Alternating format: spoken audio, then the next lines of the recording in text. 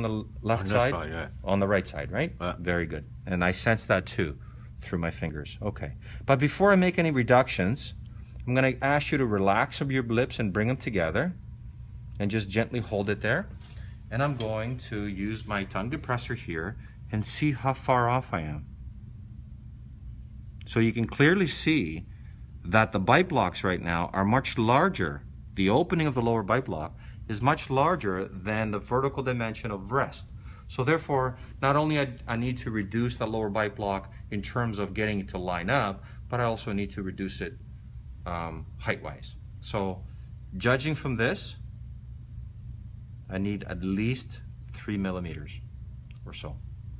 Three millimeters out here translates to about one millimeter back here. So make sure we keep that, that angle in mind when we're reducing the bite block so we don't over reduce it. So I'm going to remove this bite block here. Get you to relax for me a little bit. There we go. And just a quick look at the bite block while I have it here. You can zoom in. Notice, just like the upper one, the borders are very smooth to mimic the finished denture.